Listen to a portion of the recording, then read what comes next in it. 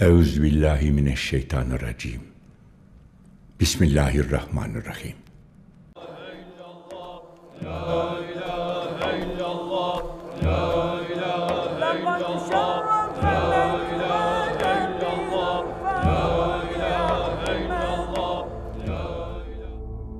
तारीख इस्लाम के मोजिज दोस्तों मैं हूँ एहसन शिराज और आप देखने और सुनने वालों को अस्सलाम वालेकुम मोजिज नाजीन ग्रामी अर्तकुल गाजी और सल्तनत उस्मानिया की बुनियाद को समझने के लिए हमें बारहवीं सदी के सेंट्रल एशिया को जानना होगा।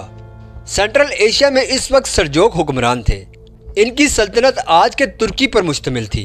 कोनिया दारुल खिलाफा था और ये पूरा इलाका अर्ज़ रोम कहलाता था। सरजोकी रियासत के एक तरफ़ मंगोल थे। ये मारते दाड़ते और खोपड़ियों के मीनार बनाते आगे बढ़ रहे थे। ये सरजोकों को रोंद कर मशरकी यूरोप और मशरक वस्ता जाना चाहते थे।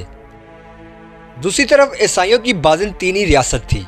ये रियासत आज के तुर्की के शहर अनातोलिया के साथ साथ चलती हुई, ब्लैक सी और इस्तंबोल से होती हुई पूरे मशरक यूरोप पर मुश्तमिल थी। ये भी सरजोकी रियासत पर कब्जा कर कर अपनी सरहदें चीन तक वसी करना चाहते थे।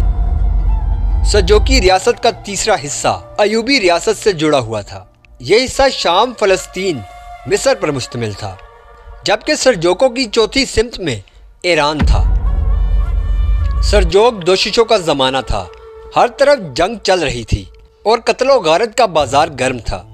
मंगोल और बाजिनतीनी ईसाई दोनों बैतुल मकदस तक जाना चाहते थे, लेकिन दोनों के अज़म के रास्ते में सरजोक और अयूबी दो मज़बूत तरीन रियासतें खड़ी थी। मंगोल और ईसाई दोनों इन दोनों को रास्ते से हटाना चाहते थे मंगोल आज का उज्बेकिस्तान और ईरान फतह कर चुके थे। हाइमा का हुक्मरान हाजिम शाह भी रास्ते का एक मज़बूत कांटा था। इसकी रियासत हिंदुस्तान के शुमाली इलाके से लेकर जॉर्जिया तक फैली हुई थी। चंगेज खान ने यह कांटा निकाल दिया था। इराक में अब्बासियों की हुकूमत थी और मिस्र में ममलूक खानदान बरसर इकतदार था। यह भी बाजनतीनी और मंगोलों के टारगेट थे। लेकिन अयूबी रियासत और सरजोकी हुक्मरानों के होते हुए मिस्र और इराक पहुँचना मुश्किल था। चलाचा मंगोल और ईसाई दोनों अयूबियों और सरजोकों के खिलाफ इकट्ठे हो गए। ये दोनों मुसलमान कौमों को आपस में लड़ाते रहते, ताकि मुसलमान मुसलमान के साथ लड़कर कमज़ोर हो जाए। दूसरी तरफ़ मंगोल खुद भी अयूबियों और सरजोकों पर हमला करते रहते। बहरहाल दोनों की रियासत अंदरूनी और बहरूनी हमलों की वजह से कमज़ोर हो रही थी। ईसाइयों ने अयूबी और सरजोकों के मोहल्लात में अपने जासूस भी छोड़ रखे थे। ये लोग बादशाहों को मोहल्लाती साजिशों में उलझा कर कमज़ोर करते चले जा रहे थे। चुनाचा वो एक मुश्किल दौर था। सरजोगी रियासत का सुल्तान अलाउद्दीन था। ये मंगोलों, अयूबियों और महल में मौजूद गद्दारों से बर वक्त लड़ रहा था। यह भी किसी चौथे महाज से लड़ नहीं सकता था, लेकिन इसके लिए एक चौथा महाज भी सर उठा रहा था और वो था बाजंतीनी हुक्मरान। अलाउद्दीन जब मंगोलों और अयूबियों से लड़ने के लिए निकलता था तो उसकी पीठ नंगी हो जाती और उस पीठ पर बाजंतीनी छुरा घोंपना शुरू कर देते। वो मकसूदी कायम रखने के लिए, अपनी पीठ को कायम करने के लिए बाजंतीनी ईसाइयों से बचना चाहता था। लिहाजा अलाउद्दीन ने सरजोक और ईसाइयों की रियासत के साथ साथ ओस कबाइल आबाद करना शुरू कर दिए। ओस तुर्कों के जरी कबाइल थे। ये तादाद में चौबीस थे। भेड़ बकरियाँ और घोड़े पालते थे। मर्द तलवारबाज और तीर अंदाजी के माहिर थे और औरतें नहायत उमदा कालीन और सूती कपड़ा बनाती थी। कबीले के सरदार बे कहलाते थे। कबीले की ज़ुबान के सैंतीस हज़ार लफ्ज उर्दू में शामिल हुए। हमारी ज़ुबान का हर तीसरा लफ्ज ओज तुर्क कबाइल से हिंदुस्तान आया था। ये कबाइल इस कदर जंजू थे। ये किसी दूसरे कबीले के बे को अपना सरदार मानने के लिए तैयार न होते थे। लिहाजा सरजोग बादशाह को अपना हुक्मरान समझते थे। सुल्तान अलाउद्दीन ने इनको कंट्रोल में रखने के लिए 24 कबीलों के सरबराहों की बे मजलिस बनाई और सरजोकी खानदान के एक शहजादे अमीर सादत को उसका सरबरा बना दिया। ये वज़ीर कहलाता था। ओज कबाइल रियासत के दो काम करते थे। ये बाजंतीनी ईसाइयों का रास्ता रोकते और अंताकिया मशरकी यूरोप, ईरान और फलस्तीन जाने वाले शाहराओं की हिफाजत करते थे। काई उन चौबीस ओस कबाइल में एक कमज़ोर कबीला था। ये लोग तादाद में भी कम थे और माल मवेशी और दौलत में भी। ताहम इसका बेस सुलेमान शाह मोजिज और बहादुर शख्स था। ये अपने कबीले के साथ आज के शाम के शहर, रक्का के मुजाफाती इलाके में आबाद था। इनके चार बेटे थे। अर्तगुल का दूसरा नंबर था। अर्तुगुल इंतहाई बहादुर, समझदार और माहिर जंजू था। वालिद इससे बहुत मोहब्बत करता था। अर्तगुल शिकार का रसिया था। ये अपने तीन दोस्तों, तुरगुत अब्दुल रहमान ताउन के साथ शिकार करता था। अर्तुगुल के तीनों दोस्त यतीम थे और उन्हें अर्तुगुल की माँ हाइमा खातून ने पाला था। वो अर्तुगुल के साथ पल कर जवान हुए थे, चुनाचा वो इस पर जान छिड़कते थे। मोजिद नाजीन ग्रामी उस जमाने में आलम इस्लाम के दो अजीम सूफी दानश्वर थे, मौलाना रूम और हज़रत मोइनुद्दीन इबन अरबी। मौलाना रूम कोनिया में रहते थे और वो सरजोक हुक्मरानों के रूहानी उस्ताद थे, जबकि इबन अरबी का मदरसा हलब शहर में था। ये दोनों सूफिया इकराम, जंगों और तबाही के शिकार लोगों के दरीना दिल सीते और उबलते हुए जैनों पर मरहम रखते थे। इबन अरबी बादनी अलूम के माहिर थे।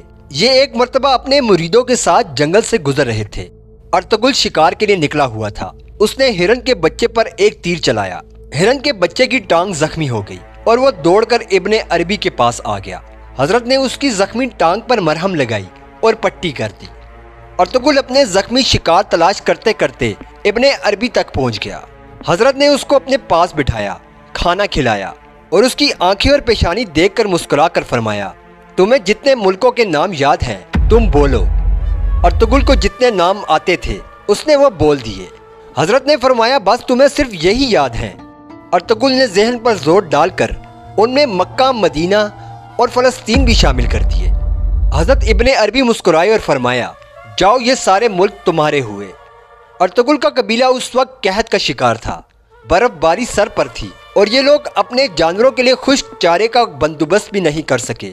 चुनाचा उसने तंजिया नज़रों से इब्ने अरबी को देखा, मुस्कुराया और उठकर चला गया। अर्तगुल की इब्ने अरबी से दूसरी मुलाकात हलब शहर में हुई। ये उस वक्त सरजोकी खानदान की मफरूर शहजादी हलीमा के इश्क में मुबतला था। कबीला इसके इश्क के खिलाफ था। क्योंकि ये शादी ओज रवायात के भी खिलाफ थी और ये सरासर सरजोकी हुकूमत को अपने खिलाफ करने वाली बात थी। और कबीले के हालात ये थे कि इसके पास सर्दियों में सर छुपाने और खाने के लिए गंदुम तक न थी। अर्तुगुल के मिजाज ने पीछे हटना कभी न था, लिहाजा वो डट गया। ये उसकी ज़िंदगी का मुश्किल तरीन दौर था। अलबत्ता वो इन हालात में इबन अरबी के मदरसे में पहुँच गया।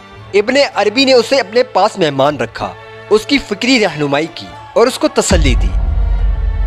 मोजिद नाजिनो इकराम, मैं यहाँ आपको बताता चलूँ। उस जमाने में मुस्लिम ममालिक के अंदर एक खामोश तहरीक चल रही थी। ये लोग सफ़ेद दाढ़ियों वाले कहलाते थे।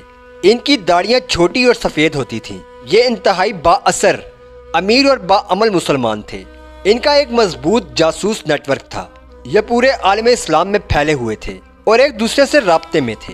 इनकी ज़िंदगी का सिर्फ़ एक मकसद था इस्लाम और आलम इस्लाम की हिफाजत। ये इस्लाम के खिलाफ खतरा बनने वाले हुक्मरानों को भी कत्ल कर देते थे। सफ़ेद दाढ़ियों वाले सरजोकी अब्बासियों और अयूबियों और ममलुकों से तंग थे। वो समझते थे कि ये यूँ ही एक दूसरे के साथ लड़ते रहे तो पूरे आलम इस्लाम पर मंगोल काबिज हो जाएँगे, या फिर ईसाई इस्लामी रियासत को हड़प कर जाएँगे। इनका ख्याल था कि पूरे आलम इस्लाम को एक ऐसी मज़बूत रियासत चाहिए जो ईसाई और मंगोलों का मुकाबला भी कर सके और यहूदी साजिशों का ताना बाना भी तोड़ सके। ये लोग इब्ने अरबी से मुतासर थे। इब्ने अरबी ने अर्तुगुल का रबता इन लोगों से करवा दिया। ये लोग अर्तुगुल से भी मुतासर हुए। लेकिन इनका ख्याल ये था कि अर्तुगुल अभी इतना बड़ा काम नहीं कर सकता है कि वो अपनी रियासत बनाकर चला सके। लिहाजा उन लोगों ने अर्तुगुल की परवरिश और तरबियत का फैसला कर लिया। इसी दौरान एक मसला पेश आया। सुलेमान शाह कैंसर की वजह से इंतकाल कर गए और बड़े भाई ने हलीमा से शादी करने के जुर्म में अर्तुगुल को कबीले से निकाल दिया। अर्तुगुल बीवी और अपनी माँ को लेकर कबीले से निकल गया और उसके साथियों ने भी कबीला छोड़ दिया। ये कुल 400 लोग थे। ये पना की तलाश में घूम रहे थे। कभी शाम के जंगलों में और कभी सरजोगी रियासत में पना ले रहे थे। मुस्तकिल जगह ना मिल सकी तो अपने कबीला वापस जाने का फैसला किया। वापसी के लिए रवाना हुए तो रास्ते में एक अजीब वाक्य पेश आया। और इस वाक्य ने आगे चलकर दुनिया की सबसे बड़ी और मज़बूत खिलाफत की बुनियाद रख दी। हम इस खिलाफत को खिलाफत उस्मानिया कहते हैं। मोजिद नाजीना ग्रामी, वो वाक्य क्या पेश आया? वक्त की कमी की वजह से हम वीडियो के अगले हिस्से में आपको बताएँगे। आज की वीडियो में बस इतना ही। वीडियो अच्छी लगी तो इसे लाइक, शेयर और अपने ख्याल का इजहार कमेंट सेक्शन में ज़रूर कीजिएगा। अल्लाह ताला आपका हामी नासिर हो। व आखिर उदा रबालमीन